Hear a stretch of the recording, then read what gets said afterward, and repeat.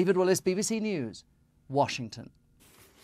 And speaking to Fox News in his second interview since becoming president, Donald Trump said he would be strong on trade deals with other countries to ensure they work for America. If the deal doesn't work out, we terminate the